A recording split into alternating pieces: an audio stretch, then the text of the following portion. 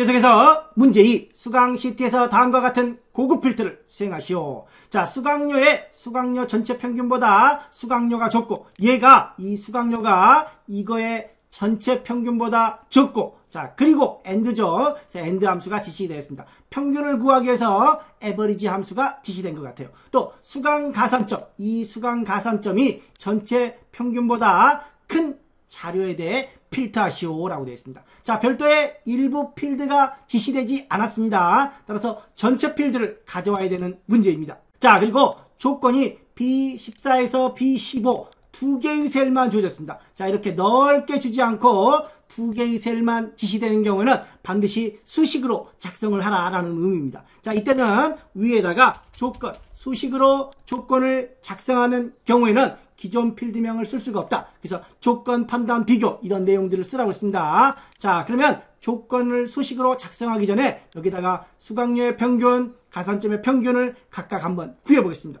에버리지 함수를 이용해서 자, 먼저 수강료의 평균 열 전체는 뭐라고 그랬죠? 절대 참조를 주자. 현재의 경우는 안 줘도 됩니다. 하나의 셀에서 작성을 하기 때문에. 자, 이렇게 가로 닫고 엔터. 자, 그리고 우리 임시로 사용하는 거죠. 임시로. 자, 여기서도 에버리지 함수를 이용해서 가산점의 평균도 구해보겠습니다. 열 전체는 절대 참조를 습관적으로 주시기 바랍니다. 엔터. 자, 그래서 수강료의 평균은 83,000원입니다. 83,000원. 자, 그리고 가산점의 평균은 얼마예요? 5.5입니다. 자, 그러면 이 수강료가 평균보다 작죠? 작은 걸 찾으라고 했습니다. 자, 그리고 전수 가산점은 평균보다 큰 값, 평균보다 큰 값.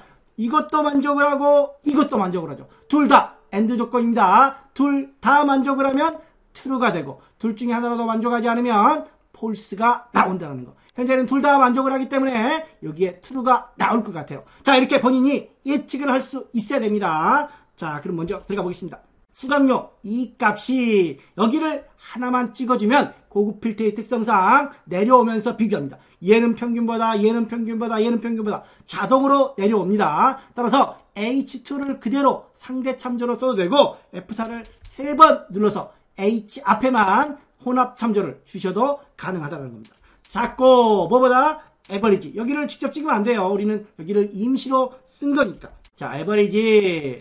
자, 그리고 2열의 전체 범위를 주셔야 되겠죠. 자, 여기는 절대 참조를 줘야 된다.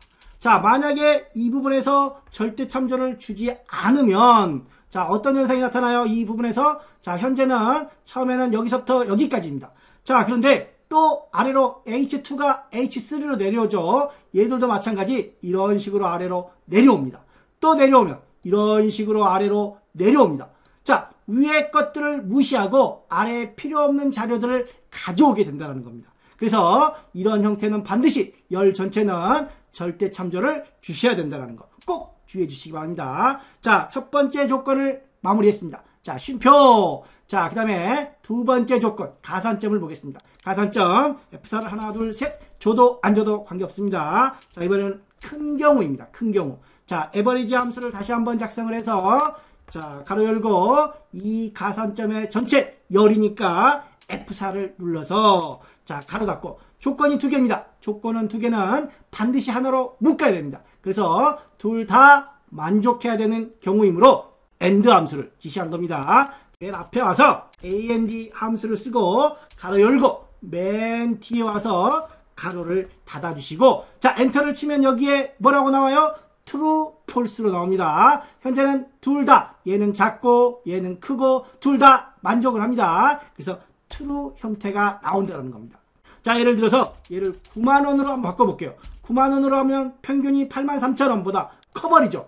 우리는 작은 걸 구해야 되니까 커 버리니까 여기서 만족하지 않아서 FALSE로 나온다는 겁니다. 자, 그래서 다시 Control Z로 되돌려 주시고 여기 필요 없이 임시로 만든 자료들도 반드시 마우스 블록 잡아서 삭제를 눌러 주시기 바랍니다. 자, 이렇게 해서 조건을 마무리하고 이제 최종 필터를 하면 돼요. 자, 필터할 때는 일부 필드가 아니라 일부 필드가 지시가 없기 때문에 전체 필드를 가져와야 된다는 거. 데이터의 고급 들어와서 목록 범위 필드가 간혹 빠지는 경우들이 있어요. 필드가 빠졌는지 전체는 다 포함이 되어 있는지 꼭 확인을 해 주시기 바랍니다. 자 조건 범위에 들어와서 조건 범위를 잡아주시고 다른 장소에 들어와서 B17부터 B17만 클릭을 하면 됩니다. 일부 필드가 미리 복사된 경우면 이렇게 범위를 잡아야 되지만 일부 필드가 복사되지 않은 전체 필드의 경우니까 첫 번째만 찍어주시면 전체 필드가 알아서 이렇게 추출이 됩니다.